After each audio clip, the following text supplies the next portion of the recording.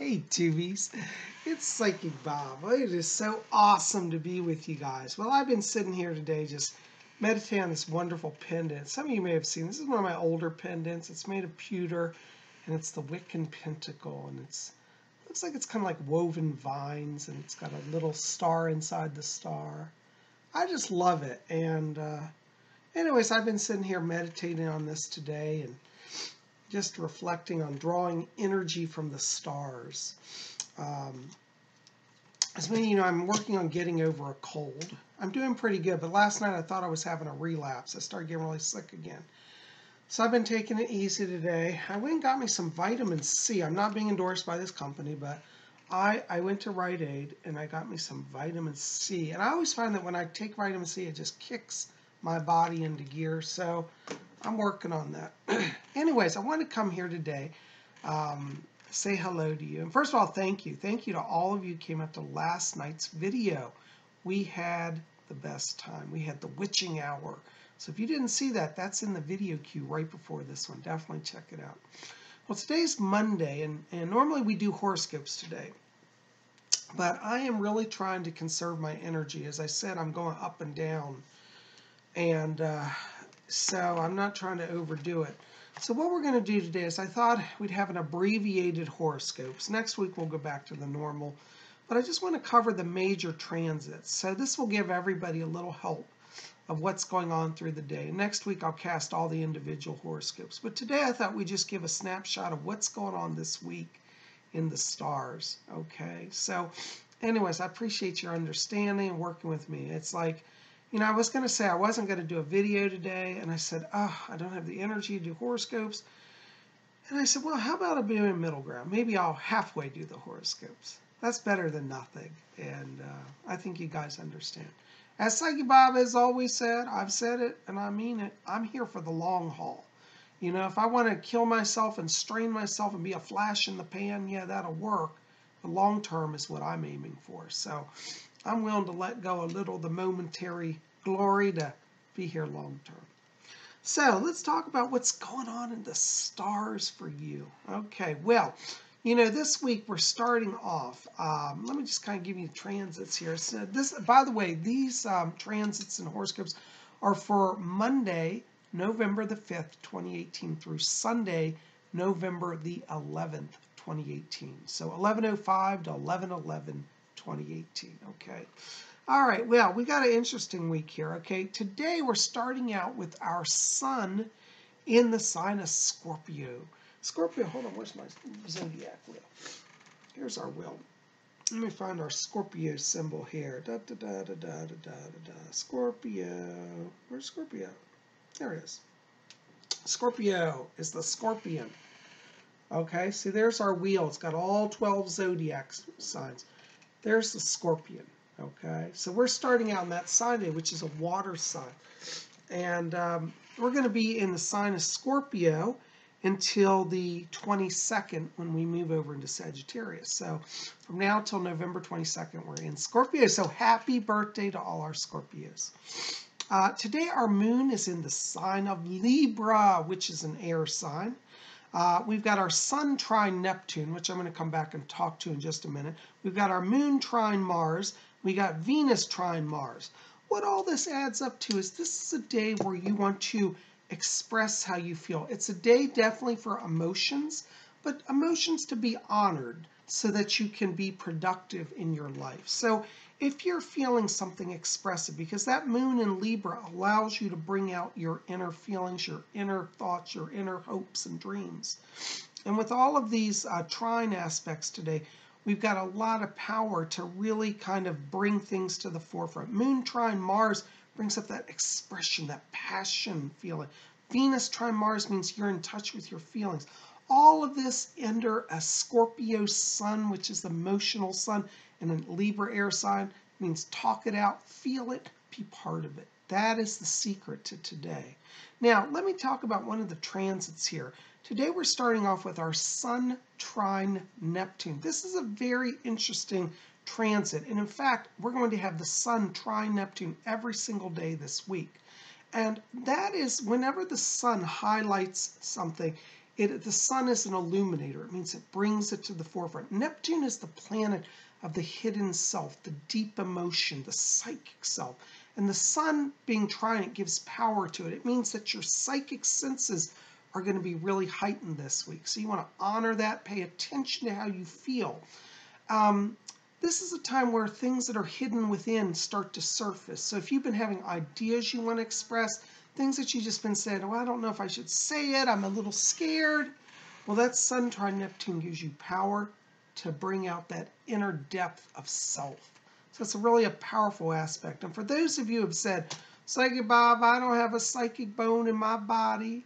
Well, guess what? Sun trine Neptune is giving you power this week. So pay attention to that inner wisdom, that inner voice, and let it come out this week. Okay, so that's a powerful aspect, got all week. Now, going into Tuesday, tomorrow, which is uh, November the 6th, um, we've got our moon uh, still in Libra, which is that air energy. We've got our moon opposite Uranus tomorrow and Venus trine Mars. What this all means is be prepared tomorrow on Tuesday for sudden favorable changes of opinion. It's a day in which allies are made. So if you have people that you work with and you're feeling like, you know, Bob, I don't know, these people are always chancy and we don't really connect and get on, be prepared to have a friend made out of that. Tomorrow is a day where you're going to make friends, influence people, and form alliances. It's a really good day. Let that Libra energy bring balance, avoid extremes. Um, that Venus trine Mars makes people very excited about being with each other. And even people don't like each other are going to like each other tomorrow. So there's going to be a chance to build bridges. Okay, so be open to sudden changes because the moon in opposition to Uranus stirs up sudden dramatic changes, especially on the inner feeling side. So people who may not have liked you or people you haven't liked, suddenly you're going to see them in a new light. You'll be like, you know what? I think we can work together. So tomorrow's a great day to to build bridges of friendship. Okay. Now going into Wednesday, that's the seventh. Uh, we've got our sun, excuse me, our moon moving over into Scorpio. Now, what's interesting is our sun is also in Scorpio on Wednesday. So we got double water energy.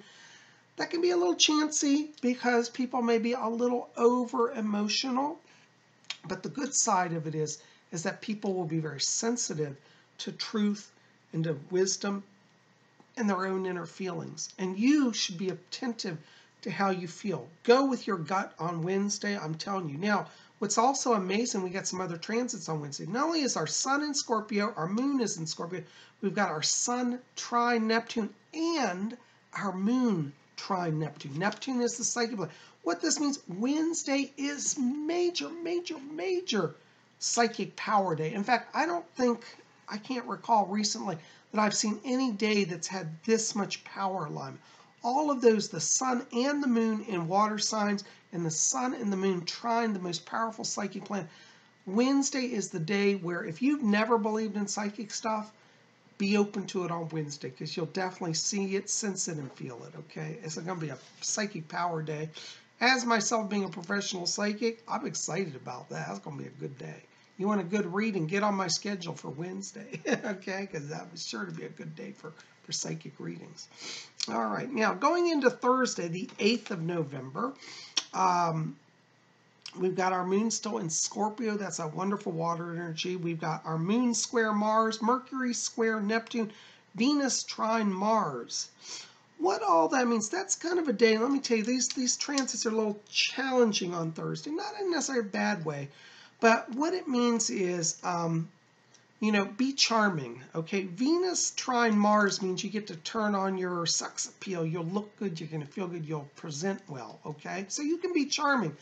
But the other transits here, Mercury square Neptune and Moon square Mars, give us a warning and it says just stick to the facts, especially in work. Don't speculate. Don't get so full of yourself that you just start rambling at the mouth.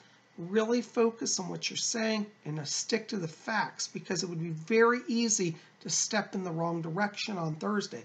That being said, there's a lot of energy that favors positive interactions, but stick to the facts Keep it simple. KISS, keep it simple, stupid.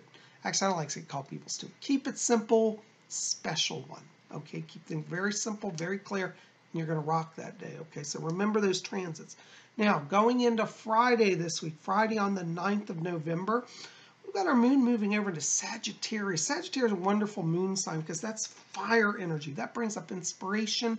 And Sagittarius is the sign, the hunter, the gatherer. So you're going to be in a motivated mood. Now, let me tell you, we got some challenging aspects that, that are going to kind of put a little damper on that, though. Now, don't get upset, but our sun is trine Neptune. Of course, that's, as I mentioned, going on all week, which will put you in touch with that inner psychic self. However, here's the caution Mercury is square Neptune that day, and Mars is square Jupiter. What that means is that you're going to have challenges in getting people together, particularly in business. Could be a challenging day. Um, Mars square Jupiter means that people may feel a little fiery or oversensitive, particularly in the financial area or work area, so be very careful. Because the moon is in Sagittarius, you may have a sense of being compulsive or impulsive, wanting to go out and just conquer things. My advice for, for Friday is don't, just wait.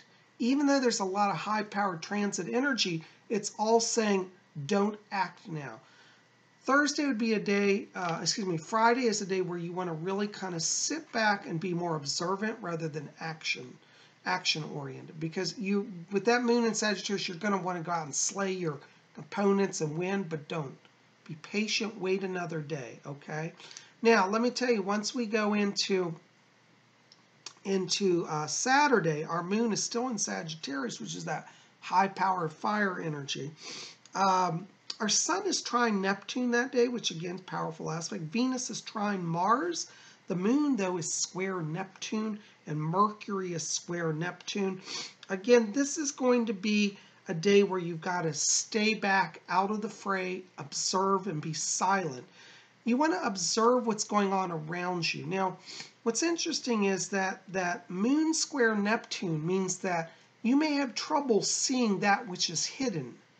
But with the Sun trine Neptune, that indicates that what you're seeking is not in actually in hiding, it's directly in front of you, hiding, as they say, in plain sight.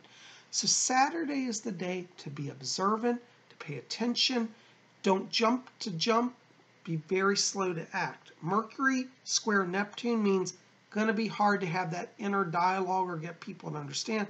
It's really a day just to observe what's going on around you and notice that the truth that you're seeking is hiding right in plain sight. Okay, if you observe that, you'll get through Saturday without any jumbles. Okay, now going into Sunday, our moon's moving over into Capricorn, and I tell you, after this high power week, that's probably a good thing because Capricorn is earth energy. That's going to bring things down a little bit, a little bit of balance here.